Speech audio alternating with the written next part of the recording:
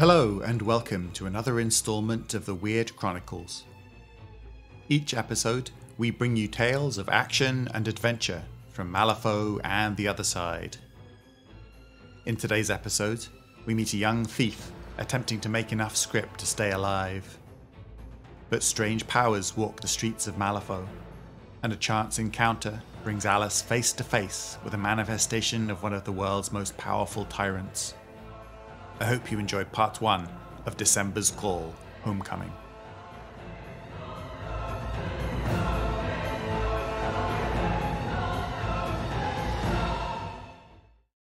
December's Call Homecoming by Jonathan Boynton.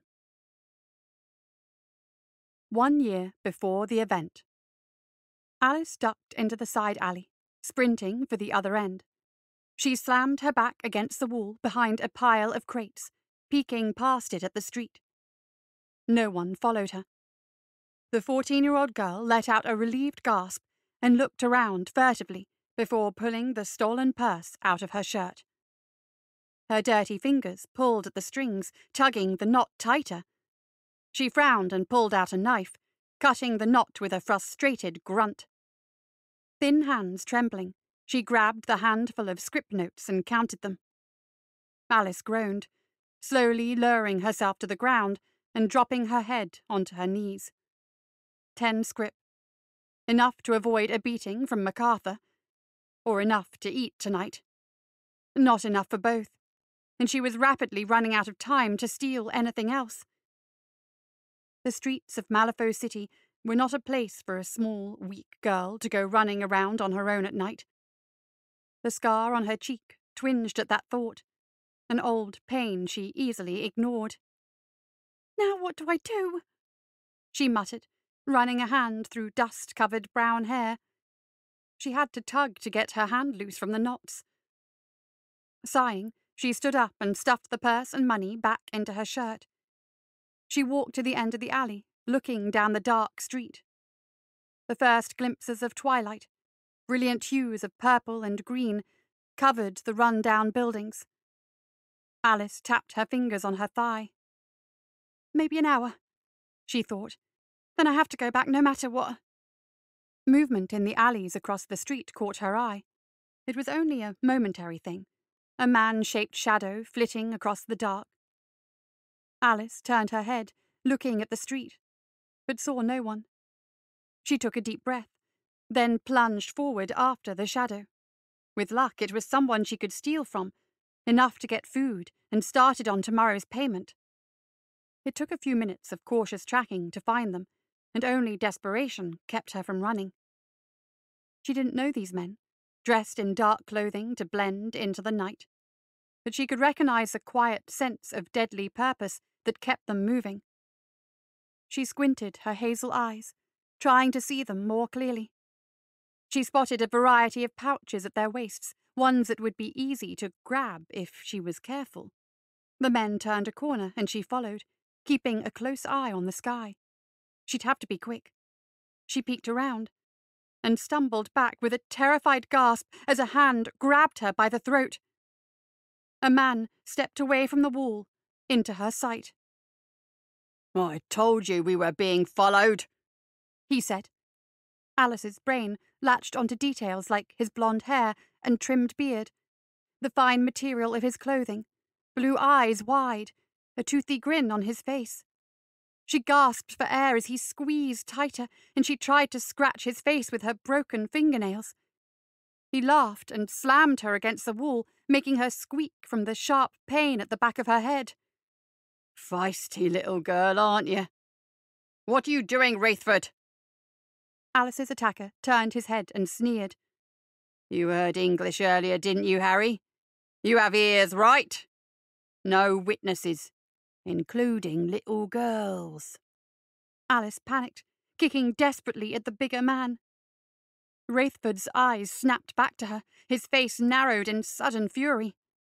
The young thief tried to scream as icy cold pain filled her throat. Frozen fire spread into her chest and her mouth, and ice crystals blurred her vision. She couldn't feel anything but the bitter cold and the agony coming from the man's hand at her throat.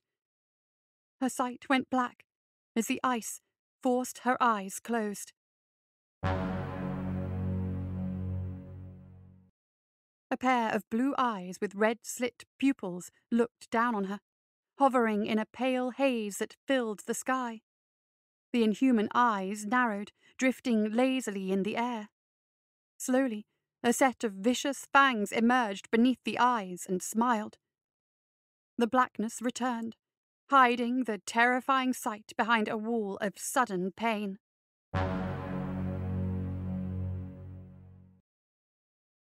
Alice's chest couldn't move. Her limbs trembled as the cold forced them into painful positions. The anguish tore at her mind, and she barely noticed the sudden spark of pain as she hit the ground. After a moment, a dull heat filled her lungs. She became dimly aware of a hand resting on her breastbone, warmth spreading from it. You're weak, Harry. And you're a monster, Wraithford. I'll take where I'm at. I'll be telling Ivan about this, and we'll let him decide whether I should have interfered. Alice heard someone spitting loudly onto the ground, and then Boots stalking away. Breathe, damn you, girl! The man over her muttered. Alice's back spasmed as breath filled her frozen lungs. She bit her tongue, and coppery blood filled her mouth. She rolled onto her side and sobbed. The man placed a hand on her shoulder to steady her as she coughed up mouthfuls of water and blood. Good. She heard him sigh. Then he dropped a small bag on the ground next to her. I can't help you any more than I have. Get out of here, kid. The man stood and walked after the others. The thief knelt on the ground, staring blankly at the purse. Spitting out a last mouthful of blood and water, Alice grabbed the bag and ran. What's all this, scamp? The gruff voice demanded. Alice ducked back from Dustin, trying to shield the pouch filled with her tribute from him. The tall man slickly handsome in his tailored clothing, stuck a foot out and tripped her. She fell on the floor with a grunt, and the pouch flew from her hand as his goons laughed. Dustin leaned out and snagged the pouch from the air, then whistled. I'm impressed, girl. He bounced the bag in his hand, head leaned down to listen to the clatter it made. What you managed to find out there today? Something far more than a few scrip notes. Alice glared at MacArthur's chief enforcer while he opened the bag. His eyes practically glowed with greed as he saw the handful of scrip notes and the small pile of gold coins that Alice had been given by her saviour. Well, this is far more than I'd rightly expect a slip of a girl like you to find. Where'd you go running today? He knelt down on his heels staring into her eyes. Alice said nothing, ducking away from the large man. Dustin casually backhanded her, sending her flying. I asked you a question, girl, he said quietly. Alice trembled and tried to push herself away from him. I was working the markets like I was told to, she whispered. A boot settled on her shoulder from behind as one of Dustin's men pinned her in place. Dustin studied her face, then nodded slowly. Good girl. He stood, picking through the contents of the bag, then savagely kicked her in the stomach. Alice screamed and curled into a ball, sobbing. The enforcer slipped the bag into a large pouch on his belt and dropped the scrip notes on her. Don't lie there too long, girl. MacArthur is expecting you. The men all walked away, laughing. Alice rolled painfully onto her hands and knees, spitting on the ground. No blood this time, thankfully. She laughed, a horrific coughing sound that she could barely recognize as her voice. What a miserable thing to be thankful for! Alice pushed up onto her feet, picking up the notes Dustin had left for her. Not even enough to cover how much she was supposed to get each day. She crushed the money in her thin fingers. It would be the third time this month. MacArthur would have Dustin beat her just to keep the other thieves in line. The boss's authority was like that. She angrily brushed away a tear that crawled through the dirt on her face. Alice crawled under her blankets, wincing as she moved. Everything hurt. She could see the bruises already on her arms, although she knew they'd be nothing compared to her back. An edged object underneath the thin layer of straw on the floor scratched along her side, then she bit the inside of her cheek to keep from screaming. She settled back with a small groan, curling up to warm herself in the small closet of the abandoned building. It was far from what she'd be willing to call home, but it was a place to sleep in private. Being alone in Malifaux at night was dangerous, but she preferred to risk the dangers she didn't know to the monsters in the thief gang. A soft weight moved onto her legs, and Alice smiled as she reached down to scratch Luca's ears. The white cat purred, the vibration shaking her entire body. Well, not completely alone. She never knew why it was that Luca had stuck with her, but she had no complaints. A cat was more than enough to keep even Malifaux rats out of the building. He had moved in one day when she was ten, and been around ever since. Hey there, she whispered. He turned green eyes to her and flicked an ear, then lowered his head and began to sleep. Smiling lazily, Alice closed her eyes. A pale blue light filled the air. She looked around at the mountain top, marveling at the beauty of the snow. She had never seen snow like this before, layers of it that covered everything in sight. Behind her was a dark cave, with icicles hanging down like fangs. She took a cautious step toward it, curious as to what hid in the depths. Suddenly, Alice felt the presence of something leaning over her, something old and powerful. She spun to see a hazy blur studying her, which then floated to look from another angle. The only distinct features were a pair of blue eyes with red slit pupils and a set of vicious fangs below them. The thief blinked several times, memories just out of reach pushing against the edge of her mind. Who are you, little girl? The voice sounded like a growling hurricane, one that stretched out the last word in a strange way. Alice stared at the fangs, her spine stiffening. The shape moved again, and she turned her head to watch it. She didn't dare say anything. The jaws rushed towards her, snapping right in front of her nose. Alice screamed, falling to the ground. The fell voice laughed, the sound spiraling around her from all directions. Don't be afraid, child. Rejoice. This is a momentous day. I am December. Alice swallowed a few times. I'm. I'm Alice. Alice Burson. A thief. One afraid of everyone around her. A sudden image of Dustin's leering face laid itself over the haze, and she flinched away from it, bruises suddenly appearing on her arms. They faded with the image. Living day to day, barely scraping by. What a pitiful life.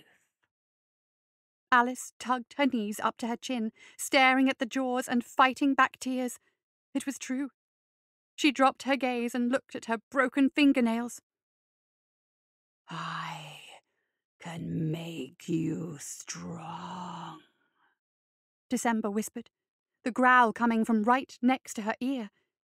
She turned and saw the jaws gleaming with a wicked smile. Find me, Alice Burson, and I'll make you more powerful than your wildest dreams.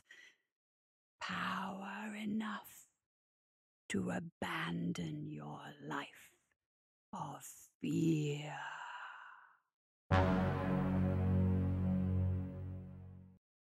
One year later, Alice's eyes snapped open, the growling voice fading to a whisper as it did every morning. Ever since that first time, she had the same dream every night. Her appearance changed as she grew, but the words never did. She gently shoved Luca off her lap, causing the hawk-cat to stare at her blankly before yawning and returning to the more important task of sleeping. The thief sat up and stretched, pulling at where her clothes had gotten tangled in her sleep. She stood and walked the short distance to a small basin of water she kept. It was dirty. The last rainfall had been a few days past, but it served her purposes. She wiped some of the dirt off her cheeks, then examined her face in the water, pulling down the skin under one eye with a frown. There were odd flecks of bright blue floating in her hazel eyes, growing larger with each day. She cursed and grabbed a cloth. The change to her eyes was unwelcome and strange, for it made her stand out. Guild won't have a hard time finding me with those eyes. Best keep out of their way. The young thief picked up a knife from the floor next to her bedding, tucking it under her clothes, where it snugged against the small of her back. She carefully pushed her way out of the closet room, glancing around to check that the building was still empty. A quiet growl made her turn around, and she quirked an eyebrow at Luca, who slipped past her. Coming with me today? she asked. The hawk-cat yawned, then walked to the door to the outside world and waited for her. Alice laughed, reaching down to scratch his ears as they went into the city. Luca sniffed the air and growled. Alice turned from her newest mark with a frown moving back into the shadows of the warehouse. Over the last year, she had moved to the warehouse district for her thieving. The individual purses weren't as good as she could find at a market, but the men who worked the warehouses were around more consistently. Each day she picked on a different group, although she took particular pleasure in stealing from the occasional guild officer when the chance arose. Today had been a good day, all told, and she came looking for one last score before night came on. She knelt down next to the animal. What is it? Alice looked around, staring at the different buildings. They were in the heart of the warehouse district, safely away from any prying eyes, well within the perimeter the guild established against the monsters that lurked in Malifaux. Lamps had been lit as dusk fell, throwing the whole area into stark contrast of light and dark. A horrific scream filled the air, the thief spun on her heels, grabbing frantically for her knife, as a scream was followed by shouting. She crouched low and moved back to the wall, hand clenching on Luca's neck. The hawk-cat hissed in protest, pulling away from her out of arm's reach. Alice fought the urge to grab him and huddle in one spot. There were more screams and shouting, and the sounds of gunfire came from all around her. What's going on? She gasped for air, pressing back against the wall. Her heart was determinedly trying to pound its way out of her chest. Tears of pain and fear leaked down her face, and she hid her face in her hands. The sounds beat against her mind, getting louder with every moment. What do we do? she asked Luca. She could feel the cat tugging on her legs. Alice looked down into his green eyes and took several deep breaths. Staying here and panicking was not going to help her survive. She took in more air, then nodded at the animal. Keeping low, the two ran for the nearest way out of the district. She flinched at every sound and shadow, but kept moving. She needed to get away from this place faster the better. She nearly sobbed in relief when she recognized the edge of the area. The emotion was immediately replaced with terror as she saw a figure dressed all in white leaning down over a body on the ground. The thief took a step back, nerveless fingers dropping the knife. It rang like a bell as it landed on the brick path. Luca ran forward to the body, pouncing on the meal eagerly. The figure looked up, brilliant blue eyes staring at the young girl. Alice would have called the man handsome if his face hadn't been covered in blood. He chewed on something, then spat to the side as he stood, tugging an axe from out of the corpse. The thief turned to run, slamming head first into a white robed woman. The woman grabbed Alice by the shoulder, wrapping a hand in the younger girl's short hair painfully. Black eyes with specks of blue stared down from a face dripping blood. The man said something Alice couldn't hear over the sound of her thudding heart.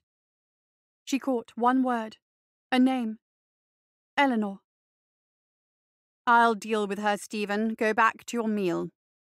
Eleanor replied, studying the girl's face. Alice couldn't look away from the red stained teeth, clean and neat otherwise, that gleamed from that blood covered visage.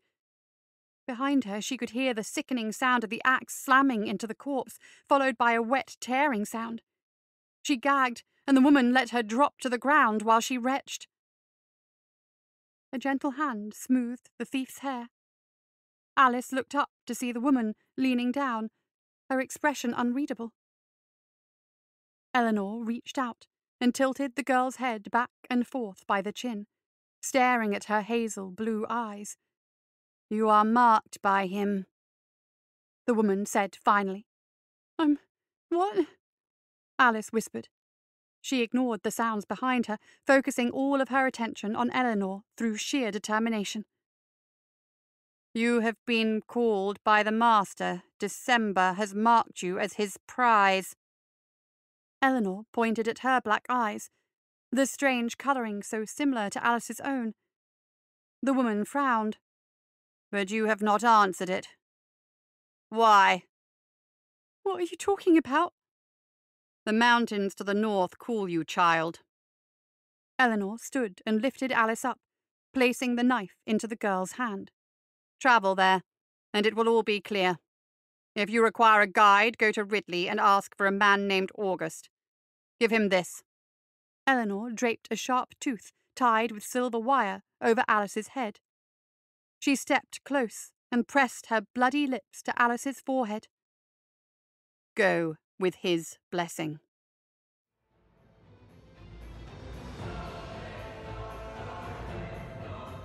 That's it for another episode of the Wyrd Chronicles. Join us next time for the conclusion of December's Call Homecoming.